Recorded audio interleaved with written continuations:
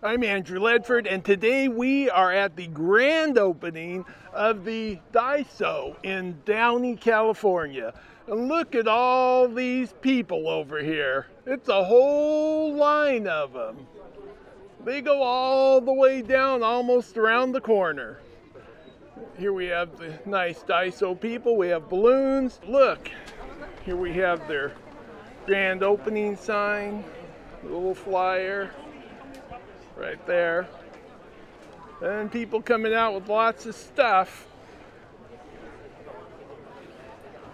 And one of the cool things about this store is they have little tiny frying pans, cast iron frying pans that I actually bought one for doing our on the road cooking.